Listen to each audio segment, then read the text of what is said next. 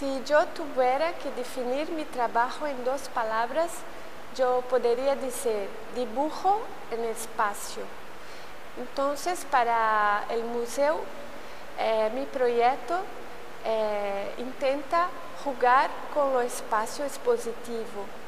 Y cuando me enviaron la planta del museo, la segunda planta donde iría a ser mi, mi exposición, descubrí que había una biblioteca en la misma planta. Entonces empecé mi proyecto pensando el espacio de la biblioteca como el espacio más importante de la planta. Entonces todas las instalaciones tienen una conexión con la idea del libro, de un sitio para leer las historias, eh, para para aprender cosas, eh, transmitir conocimiento y eh, yo pensé tres instalaciones distintas, pero todas están conectadas con la lenguaje del dibujo.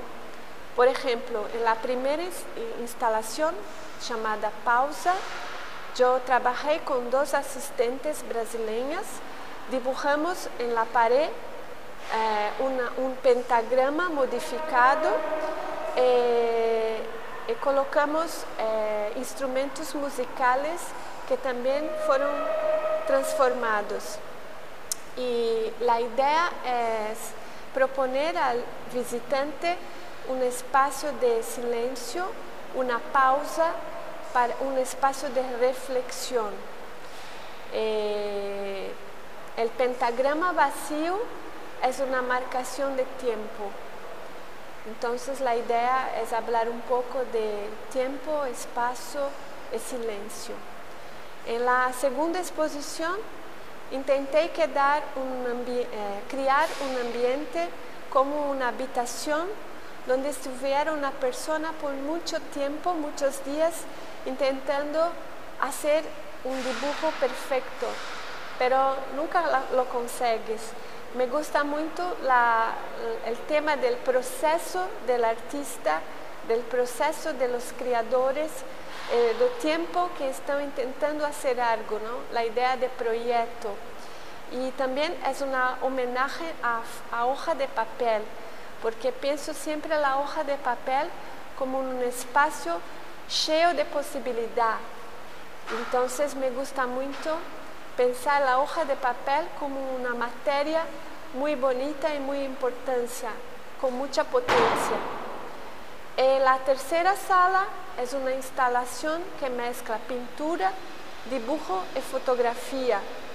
Eh, también hay un banco donde están los libros que, hacen, eh, que son una pata del banco y los libros que dan el equilibrio eh, es una metáfora de los libros como algo que, es la base de la cultura. Eh, el Maire revuelto eh, se conecta con el Maire de Jericó, la balsa de la Medusa, que es una pintura muy importante del periodo romántico y es que esa tragedia ha pasado de verdad entonces intento hacer un, paralelo con la tragedia de la sociedad contemporánea. Entonces son tres instalaciones distintas pensadas especialmente para el espacio de la segunda planta de CAM, eh, que están conectadas con los dibujos, eh, bocetos que están en los corredores que son como que bocetos preparatorios para el proyecto.